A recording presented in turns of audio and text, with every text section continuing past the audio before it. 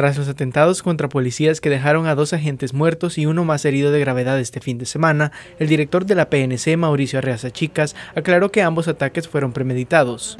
Es algo planificado, es algo que no fue al azar, sino que es algo para que una persona pueda utilizar un arma larga, un AK-47, focalizar los disparos donde los, donde los tenía el patrulla, los tenía los compañeros, es alguien que conoce de técnicas y tácticas de intervención y de neutralización de, objetivos.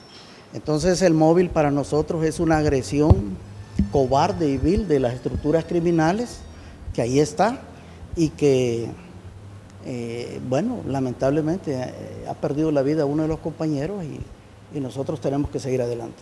Arriese Chicas también brindó algunos detalles sobre los planes del gobierno para combatir la criminalidad. Viene un concepto nuevo que se llama el Plan Día.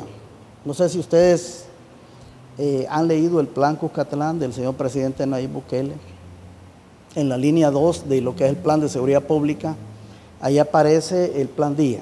Aquí tenemos que ver cómo mejorar, cómo tener mejores niveles de respuesta durante las primeras 24 horas después de haberse cometido un delito.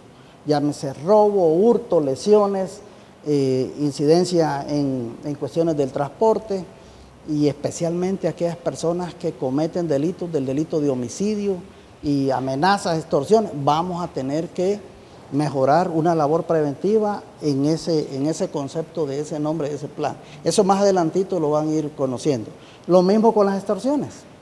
El director de la PNC dijo que continuarán trabajando hasta las últimas consecuencias para atrapar a todos los criminales que atenten contra policías o contra la población civil.